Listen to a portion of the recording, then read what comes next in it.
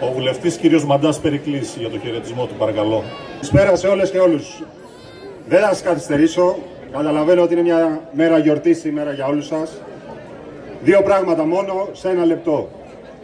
Καταρχήν, αξίζουν συγχαρητήρια προφανώς ο Σύλλογο για αυτή τη γιορτή που γίνεται σήμερα και για τα τελευταία 20 χρόνια.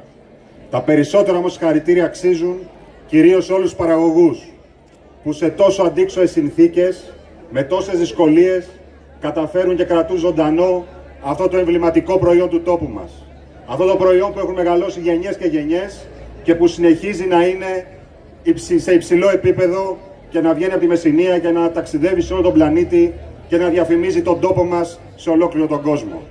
Τρία χρόνια τώρα, μαζί με τη Σικική, σε μια εποχή που οι συνεταιρισμοί έχουν απαξιωθεί τελείως, σε μια εποχή που ο κόσμος έχει γυρίσει την πλάτη στους συνεταιρισμούς, η Σικική, ο πρόεδρός της, ο διευθυντής, έχουν δείχνουν το παράδειγμα. Κάνουν τη διαφορά. Και γιατί την κάνουν τη διαφορά, γιατί εργάζονται νυχθημερών μαζί με τους παραγωγούς, έχουν καταφέρει να έχουν έναν, υγιές, έναν υγιή συνεταιρισμό και καταφέρουν να καινοτομούν, να βελτιώνουν και να αναπτύσσουν το προϊόν προς όφελος όλων μας.